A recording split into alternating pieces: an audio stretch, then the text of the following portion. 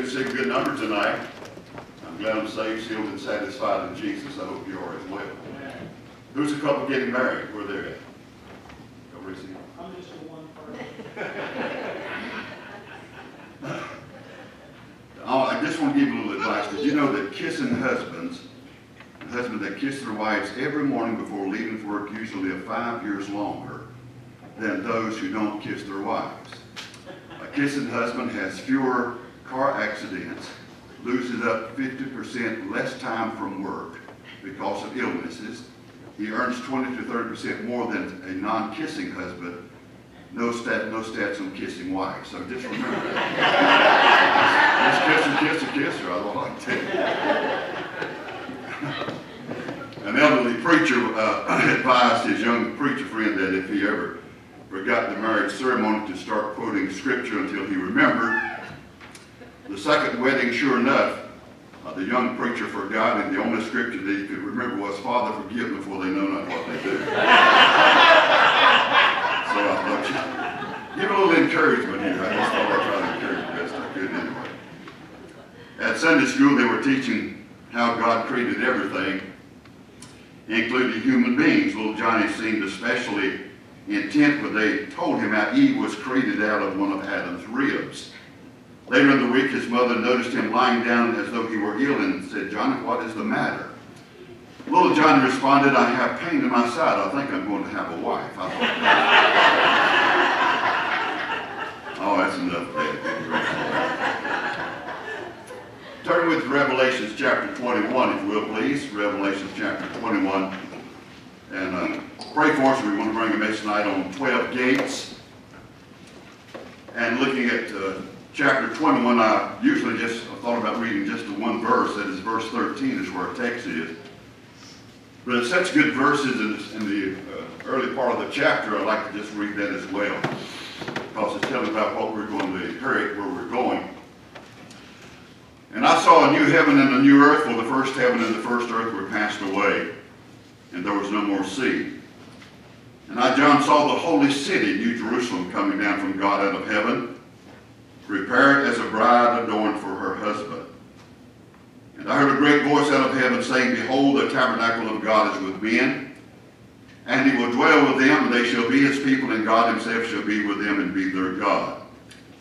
I like this verse, and this is a, a finally the conclusion when all tears will be wiped away. There's going to be some tears in heaven. I got a feeling there's going to be a lot of them at the judgment seat of Christ and probably at the, at the great white throne judgment. This is after these things have, uh, taken place. And so uh, it tells me we're going to have some tears that's going to be shed. We won't go into the details of that, but in God shall wipe away all tears from their eyes. There shall be no more death, neither sorrow nor crying, neither shall there be no more pain, for the former things are passed away. And he that sat upon the throne said, Behold, I make all things new. And he said unto me, Write, for these words are true and faithful. And he said unto me, It is done. I am Alpha and Omega, the beginning and the end. I will give unto him that is athirst of the fountain of the water of life freely. Are you thirsty tonight? He that overcometh shall inherit all things, and I will be his God, and he shall be my son. But the fearful and the unbelieving, and the abominable, and murderers, and whoremongers, and sorcerers, and idolaters, and all liars have, shall have their part in the lake which burneth with fire and brimstone, which is the second death. And there came unto me one of the seven angels, which had the seven vials, full of the uh, seven last plagues, and talked with me, saying, Come hither, I will show thee, the, I will show thee the bride, the Lamb's wife. And he carried me away the, uh, in the spirit to a great and high mountain, and showed me the, that great city, the holy Jerusalem, descending out of heaven from God, having the glory of God, and her light was like unto a stone most precious, even like a jasper stone, clear as crystal.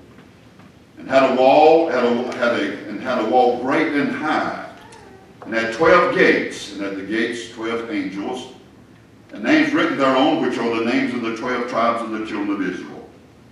On the east three gates, on the north three gates, on the south three gates, and on the west three gates.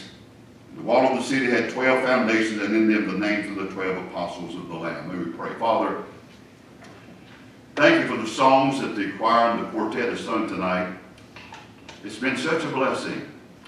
Father, to have our hearts refreshed when we think about the songs that have been ministered to us this evening.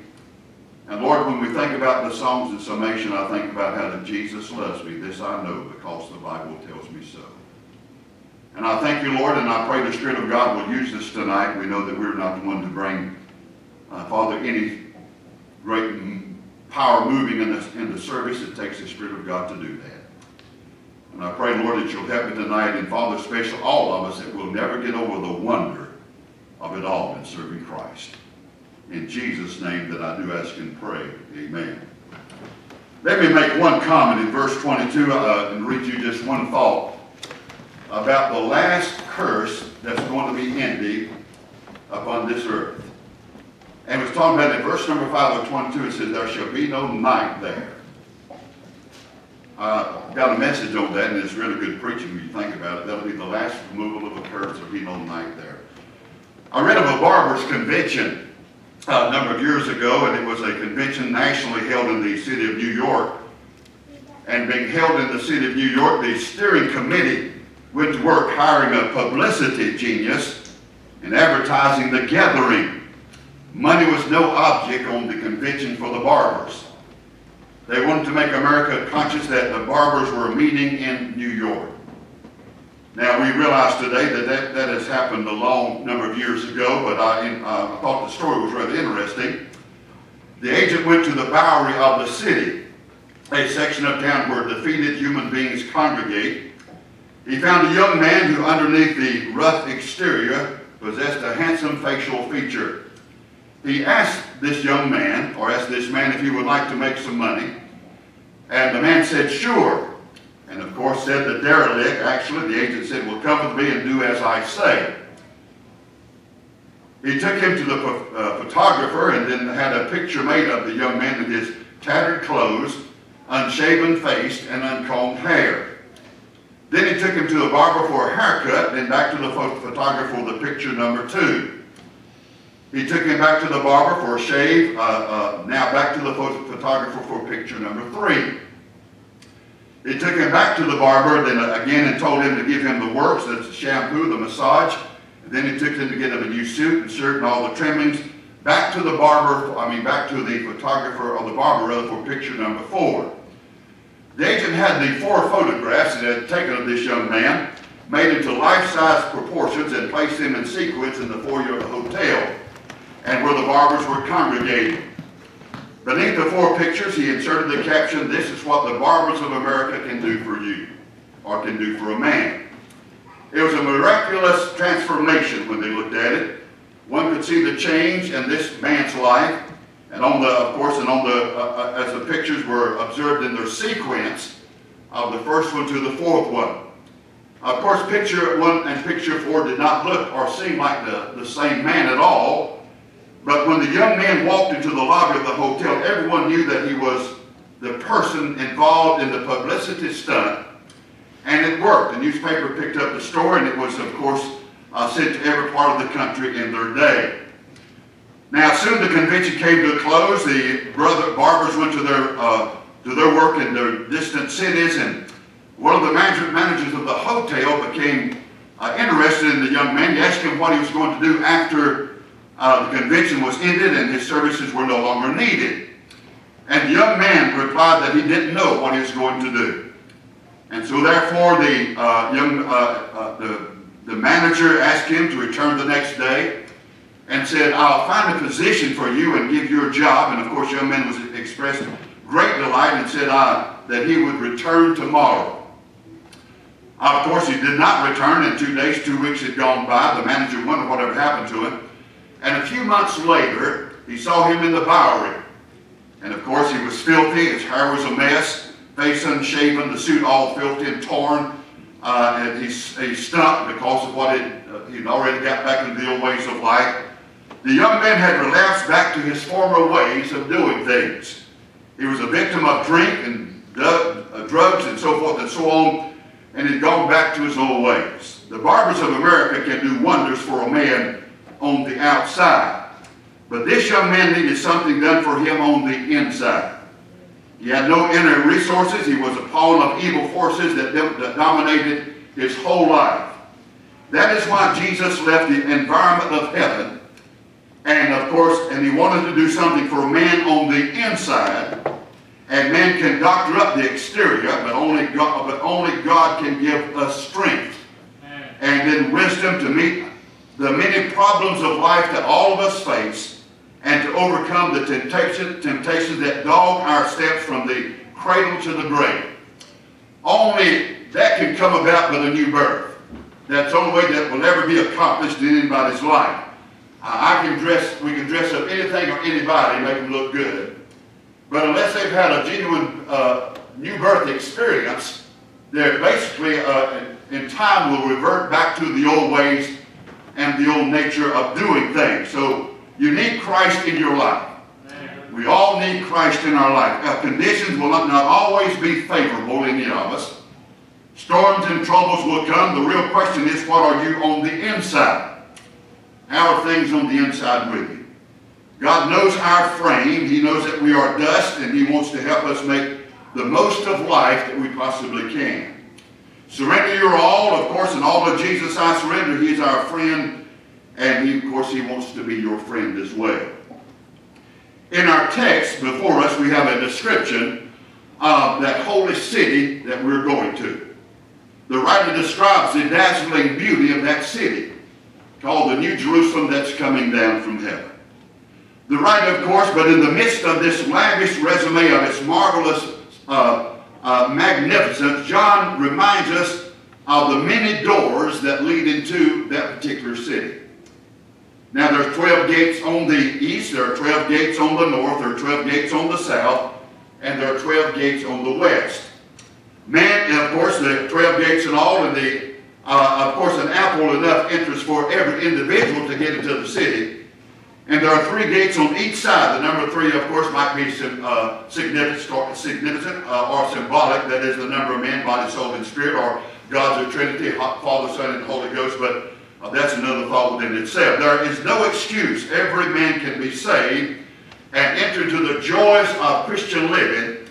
I don't care what one's conditions in life might be uh, faced with or might be, but nevertheless you'll discover that three gates await the entrance of every one of going into that city. Now, what I'm, I'm not saying that there are four different ways of getting to heaven. Uh, we're already there, of course, as being God's children. There's only one way. Jesus said, I'm the way. There's only one door of getting into heaven. But what I want you to see is, uh, you might say symbolically or representing uh, uh, all of the classes of people uh, that will be entering into that city. And in other words, if you look at the east, you'll find the, and take the four parts of the compass, the east represents the rising sun or youth, and you can enter through those gates. Uh, the north represents winter and the struggles of life. You can enter through those gates. Uh, the south represents warmth and prosperity. You can enter through those gates. The west represents the setting sun of old age, and you can enter through those gates as well. In other words, you've already, you, you already, you've already entered through the door, but after going through the door, which one of those particular gates would we, uh, you know, that we'd be able to enter in if we wanted to use it in that light? that I was a young person, or I was in uh, bad health, or I was in old age, or I was in uh, prosperity, which would be the way. So I think you see what I'm speaking about. On the east are three gates. Now, when I think about the east, the east represents the rising of the sun or the beginning of the day, and youth is symbolized in this figure. Young people that are here tonight, uh, this symbolizes you this evening. Youth with all of its strength and its wonderful opportunities is here shown and there's something dynamic about youth. Uh, I think we'd all really agree with that. Its winsomeness and its charming and admirable. I think of Moses standing on the mount after a fruitful life, and I think we can all visualize Moses, Moses' hair is bleached, and time has drawn deep lines into his aging face as well. But think of, but think of young Moses. Think of when Moses was just a young man standing in Pharaoh's court refusing to be called the son of Pharaoh's daughter. I mean, it took some intestinal fortitude and some stamina and the grace of God uh, for him to stand as being a young man and say I'm choosing rather to suffer the affliction of God's people rather to enjoy the pleasures of sin for a season. So think about Moses. I want you to think about Daniel. He has the respect of a pagan court when you read the book of Daniel, the glow of faithful service in the in his feeble eyes. But I like you to think of Daniel. I want you to, to think of Daniel, that young Daniel, as he stands in the court of the heathen potentate and refuses to eat the king's meat. And said, he, Shadrach, Meshach, and Abednego, just teenage boys, and say, we're not going to eat the king's meat.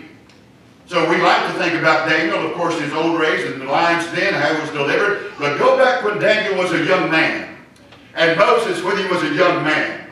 And you that are young men and young ladies and teenagers as well that are here, uh, you've got that opportunity uh, that's facing you to take a, a, a, permanent and a firm stand of those who try to entice you uh, to get involved in drugs and in sex and other immoral acts in this society. You've got a chance and an opportunity that's glorious and to let them know that Jesus means more to you than all what the world's got to offer. Amen.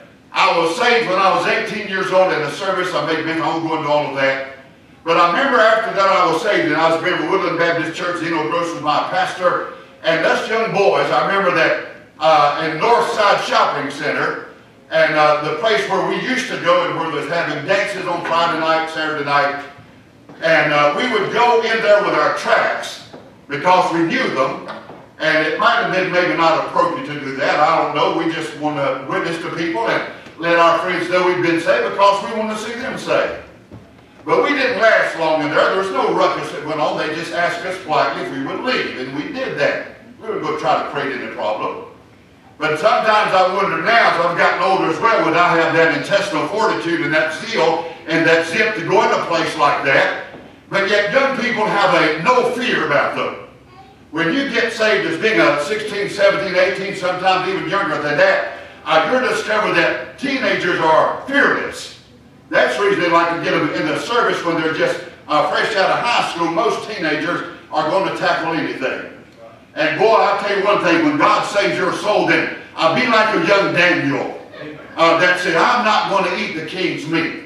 Be like a young Moses, say, I'm not going to I, am going to, I'm not going to uh, eat the Pharaoh's uh, meat. I'm going to uh, follow God's people and uh, suffer affliction rather than enjoy the pleasure of sin for a season. Think of old Joseph. We think of him, he, uh, of course, he saved the world from famine. I think maybe sometimes around in our area we might need an old Joseph in our area as well. But he's won the admiration and esteem of multitudes because of his keen insight into the future. And But I like to think of young Joseph relating his dream to his jealous brothers, I see him refuse the enticements of an attractive queen, and he suffers for righteousness' sake and is placed in prison. So think about the eastern gate, the rising sun, and the youth of everyone that's here tonight uh, that is not married, and maybe you're going to be facing it like this couple is going to be doing. Uh, but nevertheless, in the, uh, uh the rising sun of your life, when God has given you the strength and the courage and the mentality and the zip and the zeal to get out there and get something done for God. And you need to use that. Millions and millions, by the way, God loves the young. He knows their problems. He sympathizes with uh, the many adjustments that they must make in the growing process of being a young person. So he's opened the gates of the east and let them in. Millions of young people have entered through these gates. I would say to every young person present now is the accepted time. Today is the day of salvation. Amen. Not tomorrow, but today. Right now is accepted time. Right. Don't let the devil uh, whisper sweet nothings in your ear. Uh, that we'll do it some other time. We'll get uh, notice whenever. Well, I've got to do a few errands first of all. Don't let the devil whisper them sweet nothings uh, in your ear, and that will just lead to nothing and probably to problems. By the way, but say, come to Jesus even tonight because and accept Him. Today is the day of salvation, and now is the accepted time. That's when we need to make some commitments. You do not have to sow your wild oats on where people get that idea from. And you do not have to take the low road and minimize, uh, minimize the effectiveness that may be yours in days to come. Salvation that Christ offers will awaken every potential that resides within you if you'll just give your heart and life to Christ.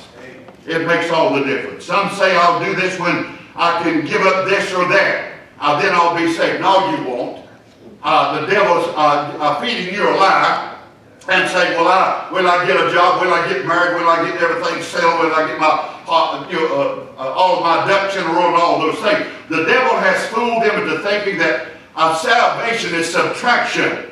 It is not subtraction. It is not a minus. The cross is a plus sign. And the plus sign means redemption, redemption is, a, is, a, is, is, a, is addition. And Jesus said, Seek ye first the kingdom of God, then these things will be added unto you and that's addition. And he says to take care of the needs and supply those and the things you wear, your food. And he said, why take thought of those things? God said, I'll take care of them, so quit worrying about it and just cast all your cares upon Jesus, young person, and give your life to him. And it makes a difference when you do that. Amen. I can verify that. I thank God that I saved when I was 18. I, I wouldn't have cared if he saved when I was younger, but God knows what he's doing. Some of you are saved when you're younger, some are saved when you're older, but the main thing is you got saved. Right. That's what's important about it. So youth is a time of preparation. It's a time of building foundations. No one is prepared to live until it becomes a Christian anyway. If the young person develops his mind and body and not his soul, he he is partially prepared. When God told Satan that Job was a perfect and an upright man, he meant that Job was complete. It doesn't mean he was uh, sinless. I'm not no perfect in that sense of the word, but perfect has to do with the fact that you're a complete man. And therefore, uh, in other words, we, are uh, God wants us all to be complete.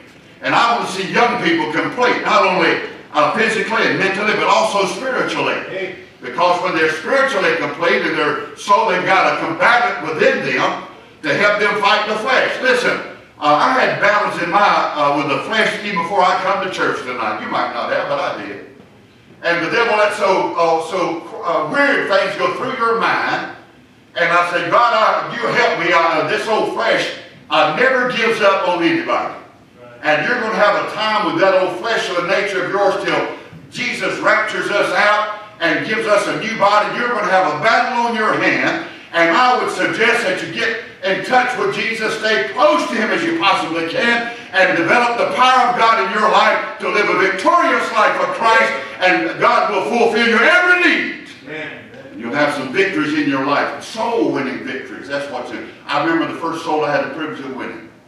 A friend of mine, when I went to see him, told him I got saved, and invited him to go to church with me. And he went with me to the house of God. We were sitting about the third pew from the front on this side. And he was under conviction. I said, I'll go with you. And we went up. And I didn't know how to win it. I don't think I knew just get him to church.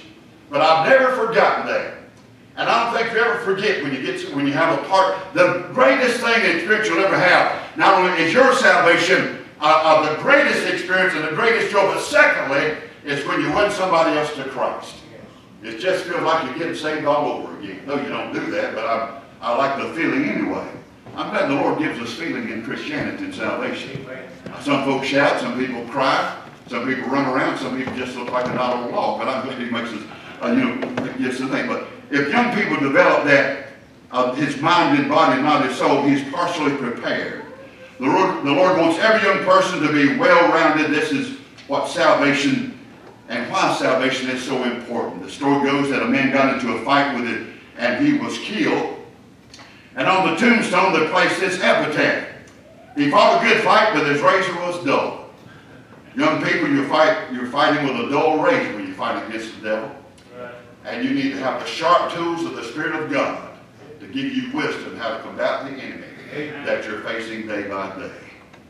Ask the man behind, listen, you think it's hard to be a Christian, it's hard not to be a Christian. Proverbs says the way of the transgressor is hard. Ask the man who lost control and lived for the flesh and ruined his health through liquor. Ask the man that was had the opportunity as a young man, but he got involved with the, the suds crowd and the beer and other things and then now he's gotten up in life. His life is ruined. Ask that man uh, uh, if it's easy carrying an, uh, an afflicted body around because of what sin will do to a person when they has got a hold of them in their young life. Caused by the moral rejection that he should have done when he was a teenager and a young person. He will answer it would have been better to be sober and retain his health than to have, have come to this bitter end in his life. Let me give you another example. Ask the man behind bars. He stole, he lied, he cheated. Did this bring him happiness? No, it didn't. But now he's suffering the results of a wasted life. And he said, I've just got to have a little bit more fun. And then now he's behind bars and locked up. And some of them, of course, get saved. But you know what? Wouldn't it have been better if he'd gotten saved and I'd used those uh, youthful energies for the glory of God? And rather than having a life ruined and ruin his family and his, uh, his wife probably and all those things because of saying, I've just got to have a little bit more fun. As the woman who lived in sinful pleasures, has she found it profitable in the long run? TV may give you that impression about the woman and all those. And they always pre present such a, a, a glorious experience. Everything looks so good, but they never show you the backside of the billboard. They never do that. And how the weeds have grown up and how dirty it is and how and the, the trash has been thrown behind the black. They never show that part. And uh, all of us are so gullible, we think that's what it's going to be, but it's not.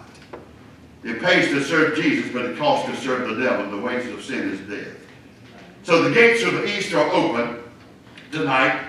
And every young person can be saved, and Christ loves a young person. He was young, uh, uh, a young man when he died. His disciples were young men as well. Jesus loves the fire of youth. He knows it can be channeled and it can sweep the world for the cause of Christ. That is, the youth can do that.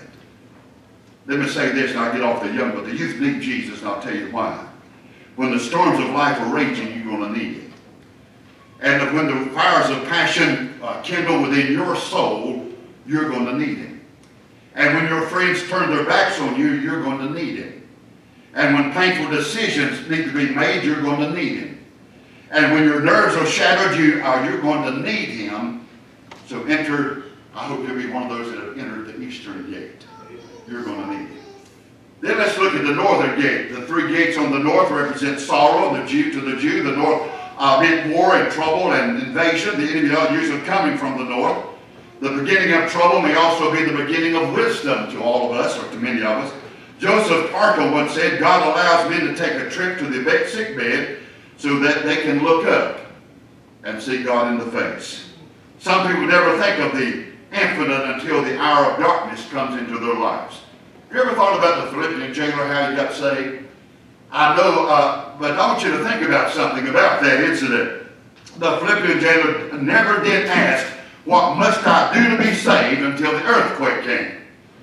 And then the, the jailhouse doors were open. We know that. Jailhouse rock, you had that expression to be.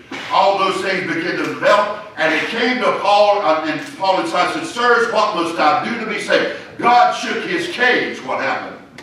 And in doing that, he said, and, and before then he thought nothing about it. He didn't think nothing about beating Paul and Silas. I mean, that was his job and his duty. He wasn't going to let, and if, those, uh, if they would have escaped, that would have been his life. And, uh, but nevertheless, he never thought about getting saved until uh, a, a, tragedy came into his life. Then he said, Sirs, what must I do to be saved? And I like the simplicity of it. said, Believe on the Lord Jesus Christ, and thou shalt be saved in thine household. And that was a verse that I claimed for me and my wife after that God saved us. We were married. And of course, in 1960, and then uh, that God would uh, uh, save our family. When our, of course, when our daughter came, our son came, and uh, God saved them. But that was a verse that was my claim uh, for my family that God was saving, that will be saved in thy household, because I did not want my kids to go to hell. I hope you don't want yours to go there either. But there are many of them that goes there, and we need to get to develop a burden for those who are lost without Christ, right. and that we might see them saved before it's eternally too late. Amen. So the beginning of trouble, so that uh, we should not wait until the hour of heartache is upon us before we think about the Lord. Yet God knows the quirks of human nature. He has obeyed, he has opened three doors on the north. The valley of Achor, in the book, of course, in the book of Numbers, I mean the book of Joshua, remember about concerning uh, Achan, what he had done, got stolen. Then, of course, his family was stoned, uh, was stoned to death in the valley of Achor. In Hosea chapter 2, verse 15, was changed in the, uh, the valley of hope. It's called that, the valley of Achor or a of, or door of hope. And if you win by accepting Christ as your Savior and comfort of your souls, it will be worth the pain and the toil and the trouble that you might endure. Listen, you remember the prophet Jonah did not see the, uh, the need of answering the call of God until he ran into the storm and then was swallowed by a whale. The children of Israel had to be reduced to slavery and poverty before they would eliminate their pride and repent. A pastor tried to win a young couple to the Lord, and uh, their infant child had died. And at the cemetery, they waited, of course, till all this, you know, all the the prayers and the scripture readings and So he stayed behind with a mom and dad, just a young couple, and with their infant child. And of course, and the husband said, I want to see this baby again. I don't know if I, uh, he says, I know that I won't if I don't accept Christ as my Savior. And the wife, she was reaping along with her husband and said, I, I, I, I won't see, I want to be saved. I won't see my baby unless I get saved. Now, the death of the child became the birth of two people into the family of God. I do not know how God's going to do things. I'm not God. I'm just giving you a, an illustrated story of an event that happened. It reminds me of David. You remember when David's baby, of course by, by Bathsheba, and the baby was dying, and David did not eat. He wept, and of course, and cried and prayed and so forth. And then when they came and told him the news that the baby had gone, was dead, and then the Bible says that David dressed, he washed himself and went to the house of God and worshiped. He says, I cannot I bring my child back, but I can go to be with my child. Boy, that's a comfort to me. And to know that I can't bring, but I know that one of these days, those little bit infants that uh, this nation has aborted, they just actually are building the bride of Christ. And it's already got some 300 million or three, how many it is now. But they're just making the bride of Christ even uh, uh, greater and more, heaven more populous than we can imagine. And it's not going to be just heaven consisting of this little group here and us tonight, us few and us four, no more. But I, it's going to be millions upon millions that are going to be there. And some of them are going to go by the north gate when they'll get to heaven. They've been that way through Sodom. And beloved, I don't know what it's going to take. My daddy had cancer. And it took that to humble my dad down. I, I, I had a good father and a good mother, good provider. I was saved before my dad was. And my dad was 72 when he uh, got saved. And uh, it took cancer to do that, to make him aware of that. I asked my pastor to talk with him. And one of the most memorable things in my ministry in its entirety was the first time, in the, and I was preaching in the church, and my, my son, father was sitting beside of my wife. And I still remember what I preached about that night. But, and that was a, memento and a memorable time for me. Because later my dad passed away in 1950, uh, 1965, and, but I know where he's at. I'll see him again. But you know what? It took something like that, and it was worth it. I mean, I'm, I, I thank God for that which would awaken him to see the need of Christ. And knowing that he's now in the presence of the Lord, because one of these days, all these things are going to be over with anyway. And just see what's going to happen. An American boy got right with God in the foxhole, things of that nature. Then number three on the south, three gates, I've got to hurry here. The south represents blessings and prosperity. And we speak of sunny south as a symbol of happiness and success. God can be found in the lap of luxury. It is not easy to find God in the midst of plenty and pleasure. We all know that. More people have gotten away from the Lord in the hour of blessing than in the hour of despair. Yet there are three gates on the south, and God can be found through the blessings that surround us through those three gates on the south. Romans 2 4 says, that the goodness of God leads you to, to repentance We've seen capture many blessings, name them one by one, and it will surprise you what the Lord hath done. Psalms 103, verse 2. Bless the Lord, O my soul, and all that is within me. Bless his holy name. Bless the Lord, O my soul, and forget not his benefits. Let me ask you, are we forgetting? I think the inability to express appreciation can be a horrible sin. It must hurt God to, uh, to contemplate our ingratitude. I like what Shakespeare said how sharper than a serpent's tooth it is to have a thankless child. You ever thought about that? How sharper than a serpent's tooth it is to have a thankless child. If, if in, ingratitude uh, grieves man, how much more must it grieve our Father in heaven? And because of us being ungrateful for what that He's done for us. We find ourselves in deep prayer and meditation and seeking the Lord when things are not going too well and prosperity has not seemingly favored us at all. But when all of a sudden uh, the, uh, the cash flow begins to change its direction and raises coming and other things begin to uh, increase our income, if we're not careful, we'll find that our outgo goes in another direction, but not to the Lord. Because we're not grateful for what God's done for us. It's easy to get like that. And, we, uh, and fo uh, folks have gotten in, the, in those shapes so, so, many, many times. Uh, and we all can say with David, surely goodness and mercy shall follow me all the days of my life. God has been good to us, far better than we ever deserved. Amen. And I'm glad that he has been. If God had dealt with us according to our sins, not one of us would be left to tell the story. Psalms chapter 103 verse 10 expresses that. He, he has not dealt with us after our sins, nor rewarded us after according to our iniquities. He's not done that. And I'm glad that he hasn't. In the hour of prosperity, God invites us to perpetuation. In the hour of success, God invites us to salvation. In the hour of health, God invites us to holiness. In the hour of riches, God invites us to redemption. In the hour of, uh, of, of, of contentment, God invites us to consecration. In the hour of peace, God invites us to, to pardon. In the hour of fame, God invites us to faith. The gates on the south are open today, and this could be your finest hour in the light of God's love and mercy, expressing your gratitude by, according, by accepting Christ as your Savior. A Chinaman had two shoes and had two shoes and had two feet, but the Chinese would get on the train, they would take off their shoes. And carrying those shoes, he got on the train and saw, and he saw one of his shoes had dropped off, and he jumped off the train to get the other shoe. He slipped getting back on the train, got in one of, and his foot slipped under the wheel of the train, and he lost one foot. But later on, we find now he has two shoes and one foot. Better to have two feet and one shoe than to have two shoes and one foot. We need to just be careful. And then lastly, on the west end, there are three of them. The west represents the setting sun, the symbol of old age. Nicodemus asked this question, can a man be born when he is old? Now, Nicodemus was thinking about going back into the mother's womb and uh, re, re, you know, regressing and uh, you know, being, uh, going back and then being born again. He uh, did not know anything about the new birth, but Jesus was going to tell him. And Jesus never got into a debate with him about it.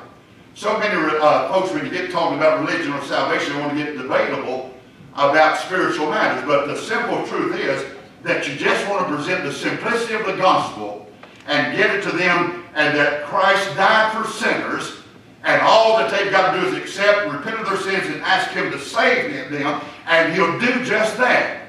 But if we get into theological debate about all the religious practices and everything that's going on, uh, we've done missed the boat altogether. We, we, we turned down another stream, and we've lost their, uh, uh, their attention and everything else. We need to keep it simple, straight, and straightforward and honest, and that Jesus saves, and that's the only way a person gets to heaven. Amen. There's not another way we'll ever get there Right. except by the blood of Jesus Christ. You'll never find anything in this world that will ever satisfy God Almighty except the, the applying of the blood of His Son on your sins and my sins as well. Amen. And when you do that, you're going to find God smiling. Because then when He looks upon me and looks upon you, you know what He sees? The righteousness of the Son of God. Therefore I'll stand in this presence righteous because He's righteous. It is difficult to be saved in old age, but it's not impossible. Habits are fixed when the tent of life is pitched towards the west when you're young. And if you pitch your tent towards the west when you're young, you'll discover that habits are going to be uh, developed in your life that's going to be heartbroken.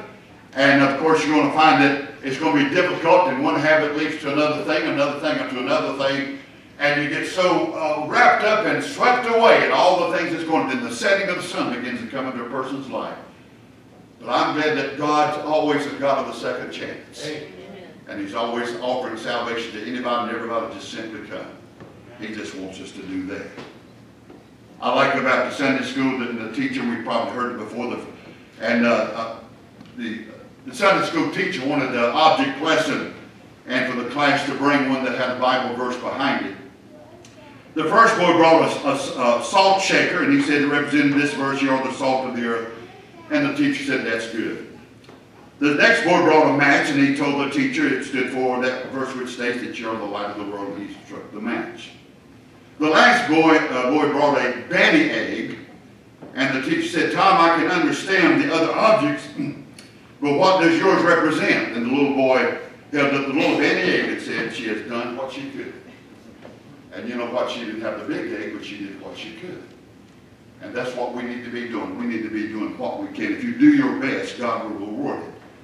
Set the stage for the moment when you will give your all to Jesus for salvation and for service. Set the stage. The West is coming into our lives. It seemed like only yesterday that I was playing kids games with my friends on the 24th Street where I was born and raised.